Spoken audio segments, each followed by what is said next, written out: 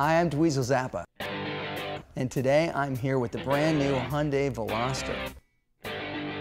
Now, I'm a big fan of modern design with an unexpected twist.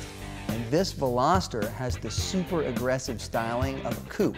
And if you look closely, you'll discover the secret third door. Hmm, where is it?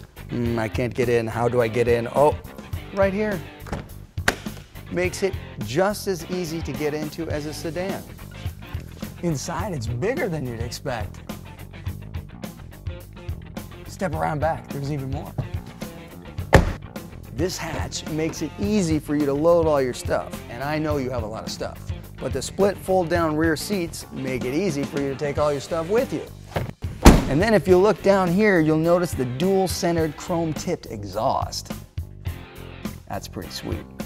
And the 18 inch alloy wheels that give this car a strong and distinctive presence. Come around to the front let's check out the bold grille. It's got LED accented headlights and a beveled hood with dual scoops. I think the car looks like it's smiling at you. In fact, I know it is. It likes you. From the unique styling to the secret third door to the flexible cargo space, there's a surprise around every corner.